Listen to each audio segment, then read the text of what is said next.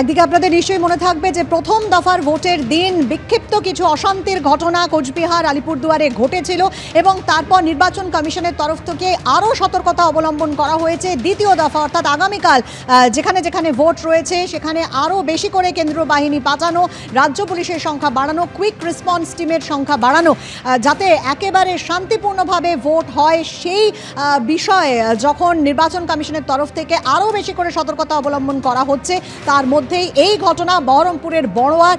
একটি বুথের পঞ্চাশ মিটারের মধ্যে বোমা বিস্ফোরণের ঘটনা ঘটলো এবং এই বহরমপুরে তেরোই মে ভোট রয়েছে।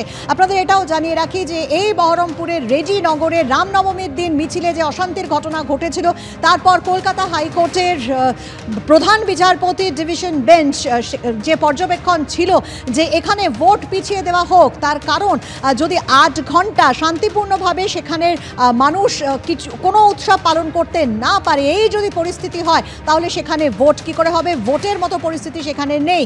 এবং অত্যন্ত কড়াভাবে হাইকোর্টের প্রধান বিচারপতি ডিভিশন বেঞ্চ জানিয়েছিল যে তারা নির্বাচন কমিশনের কাছে এটা বলবে যে যাতে ভোট পিছিয়ে দেওয়া হয় এই বহরমপুর কেন্দ্রে। আর সেই বহরমপুর কেন্দ্রে চতুর্থ দফায় তেরোই মে যখন ভোট রয়েছে, তার আগে এরকম একটা ঘটনা ঘটলো। যদিও পুলিশের তরফ থেকে যেটা বলা হচ্ছে যে কোনো বোমা বিস্ফোরণের তারা চিহ্ন পাননি, বোমা তারা দেখতে পাননি এবং যিনি আহত হয়েছেন বলে জানা যাচ্ছে, সেই তৃণমূল কর্মী যার হাত উড়ে গেছে বোমা বিস্ফোরণে, তারও কিন্তু কোনো সন্ধান পুলিশ পায়নি। অর্থাৎ পুলিশের তরফ থেকে এমনটাই বলা হচ্ছে।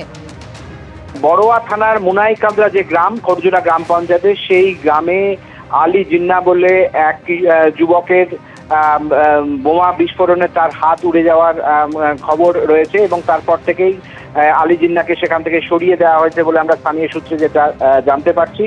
এবং তার পরিবারের লোকজন, অর্থাৎ তার আলী জিন্নার দিদিমা, যিনি লালবানু বিবি, তিনি কিন্তু সরাসরি স্বীকার করেছেন এই আঘাতের ঘটনা, তিনি স্বীকার করেছেন সংবাদ মাধ্যমের সঙ্গে এবং সরাসরি এই ঘটনায় কংগ্রেসের পক্ষ থেকে অভিযোগ করা হচ্ছে যে ওখানে বোমা বাঁধতে যাওয়া হয়েছিল এবং বোমা বাঁধতে যাওয়ার পরেই এই দুর্ঘটনার ঘটনা ঘটেছে।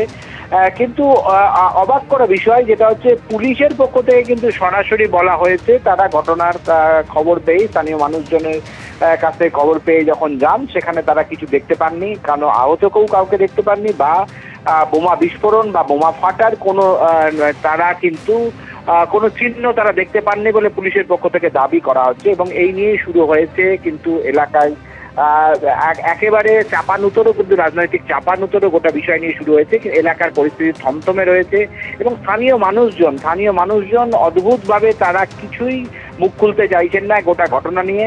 এবং এই ঘটনার পর থেকে পরিবারের লোকজনও আলী জিন্নার পরিবারের লোকজনও তারা বাড়িতে নেই, তারা বাড়ি ছেড়ে এখান থেকে ঘটনার পর থেকেই, কিন্তু সকাল থেকেই তারা বাড়ি ছেড়ে তারা চলে গেছেন। এবং গোটা ঘটা নিয়ে যেটা সবচেয়ে বড় যেটা বিষয় দাঁড়িয়েছে, সেখানটা হচ্ছে যে এই যে যদি ঘটনা ঘটে থাকে, কোথায় গেলেন? আহতকে কোথায় নিয়ে যাওয়া হলো? মুর্শিদাবাদের কোনো হাসপাতালে বা বেসরকারি হাসপাতালে ভর্তি হয়নি বলে পুলিশের পক্ষ থেকে দাবি করা হচ্ছে। তাহলে প্রশ্ন যাচ্ছে পার্শ্ববর্তী বীরভূমের কোনো জায়গায় গিয়ে তাকে কি ভর্তি করা হয়েছে? আলী সেটাই এখন কিন্তু খতিয়ে দেখছে পুলিশ এবং তারা তার পরিবারের সঙ্গে একেবারে কথা বলে তারা জানার চেষ্টা করছে যে কি ঘটনাটা ঘটেছিল বা এই আদৌ এই ধরনের কোনো ঘটনা ঘটেছিল নাকি সেটা নিয়েই কিন্তু তারা বলছেন। কিন্তু আলী জিন্নার পরি তার যে ঘটনার কিছু পরেই তার পরিবারের লোকজন তার আহ, দিদা ওই বাড়িতেই থাকতেন লালবানু বিপি তিনি কিন্তু এই ঘটনা আহত হওয়ার ঘটনা কিন্তু তিনি স্বীকার করেছেন।